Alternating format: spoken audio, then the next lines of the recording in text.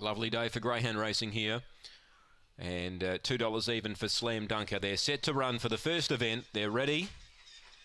Lights on, set, Racing, Slam Dunker walked out. Mignate and also Breaking Stride won the start. Mignate wants to get over. Three deep Howling Hoss is coming at the pair of them. It's really tight up front. Georgia can burn Emily together. And last of all, Slam Dunker getting over Howling Hoss. Got a length and a quarter clear. Breaking Stride comes at it. They run off the fence and Emily together gets a butte run through. Emily together in the right place, right time. Wins the first. Second Breaking Stride. Third Howling Hoss. There's a lot of jostling in that race. Fourth goes to Slam Dunker walked out.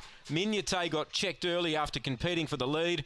Last in Georgia can burn. In the end, the two gets at Emily together. The time 23 and 63.